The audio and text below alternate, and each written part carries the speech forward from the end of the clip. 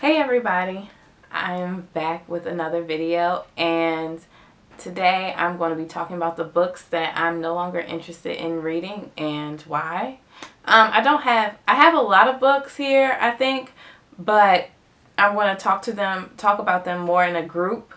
So um, I know it's most of people, most of people's videos like this, they do it as where these are books that they aren't going to read or books that they haven't gotten to and they don't plan on getting to them. However, some of them I have DNF'd and I will explain that later. Alright, so my first group of books I'm going to talk about are, oops, this, this stack of galleys that I got from work or ARCs, whatever you like to call them. So ARCs are advanced reader copies. Galleys are pretty much the same thing except they're still going through more editing. Um, I originally picked these books up back in August working at a bookstore. A lot of times they'll send um, the bookstores copies of books that have not come out yet so people know what books are on the radar. So when they do come out, you can get, um, you know, prime prime real estate as far as retail comes. So we can put the book on display where people can see it where we can promote the book um, maybe even invite the author to come and speak. And so when I first started working at the bookstore in June uh, July I didn't see any galleys really. And then in August I was literally working when um, we got the shipment of galleys in. And I went crazy. So I took all these books thinking I was going to read them before they came out so I could do reviews. However, I have lost majority of my interest in these five books. Um, some of them still aren't out. A lot of them, no, a lot of them aren't out. One is out and I'll let you know. So this one is Treyf, My Quest for Identity in a Forbidden World. Um, I can't even remember what this is about. Um, and it looked like it came out in September. So, yeah, of course, I never really got to this one. Well, that's the whole point. I never got to any of these. Um, yeah, this is totally like uncorrected, limited proof. Doesn't even have a cover on it. Um, this one, Leopard at the Door, and it was like about a white South African family um, I think this is right after apartheid, but I just lost interest in this. Um, there's a lot of other books that have come out that I'd rather spend my time on, and that's usually what the problem is, right? And then the next one is A Word for Love by Emily Robbins. Robbins.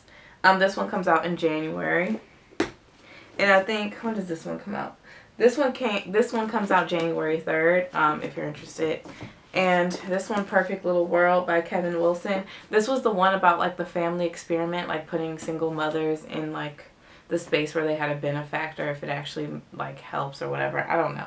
Um i was actually excited to pick this one up but i don't i don't care anymore. I, I just don't care. And this one comes out in february as well if you are interested.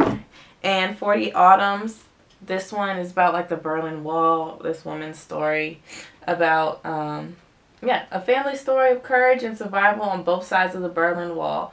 Um, this one has come out. Um, I've seen it, the hardcover in stores, and that's what reminded me, oh yeah, I still have that book, and I just don't care to read it. I thought it'd be a good way to like learn about the Berlin Wall and the history behind it, but I've just completely lost interest in these books. So I'm just going to give them to like our little neighborhood library that's like literally a wooden box on a stick. And I think people in the neighborhood would enjoy these books more than me. Um, I also am going to steer away from galleys most likely um, because I'd rather have somebody else kind of preview the book and then I'll get it.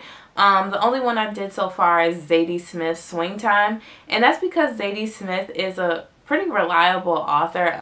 You know, I've just realized that time is precious. And even though I do have, a, I think, more time to read than others, I'd rather spend it on books that maybe already have a few good reviews out rather than me kind of wasting my time giving a chance on um, books because they're free.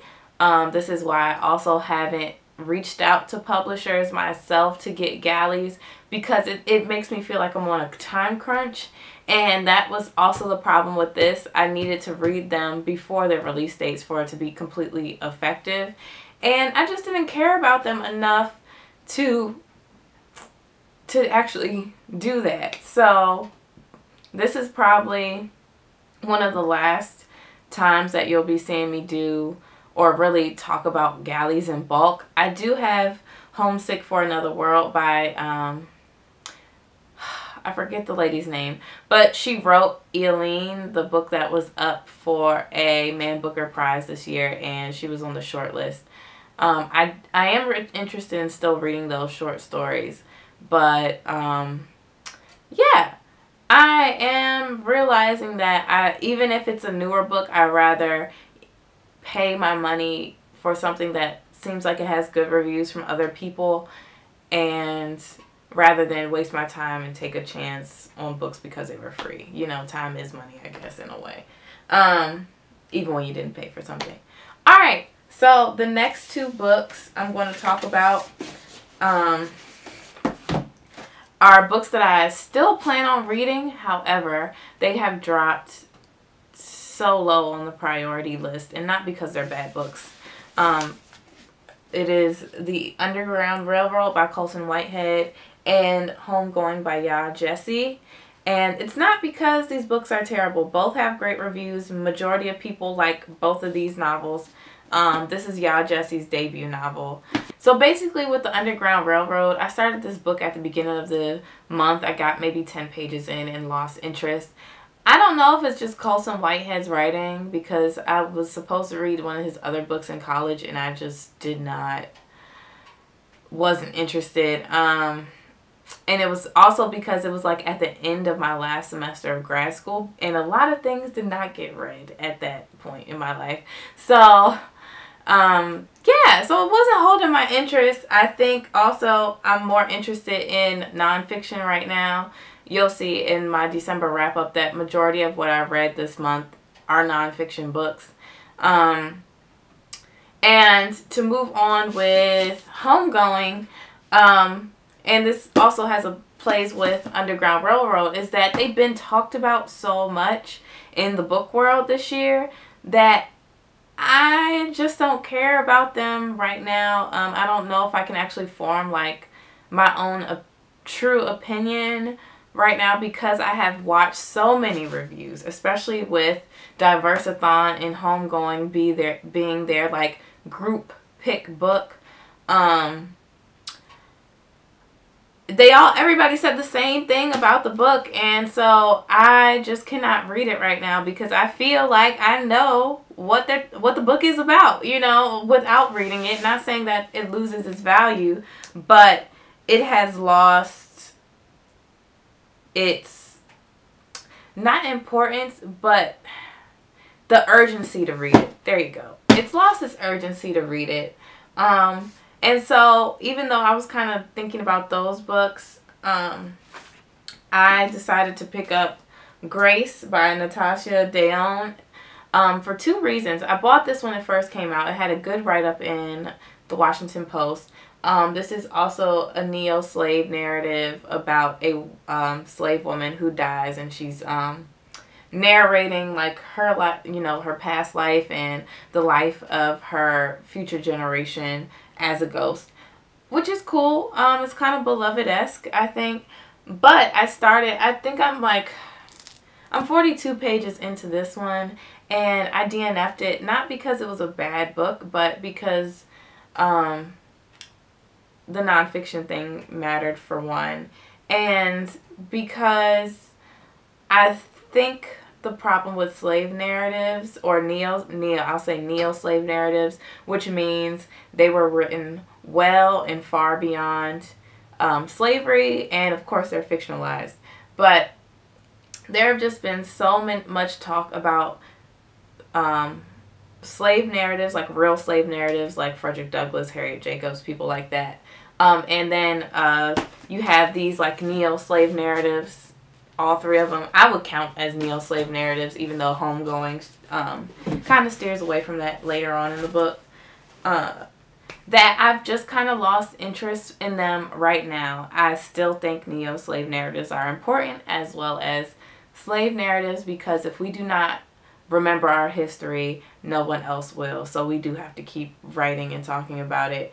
Um, however, Grace was just feeling a little bit slow, and I think that was also the problem with Underground Railroad when I first opened it and started to read it. So I was trying to really read Deon's book because I have not heard anything about it really on YouTube. I also haven't really looked for it either, so I will give that disclaimer.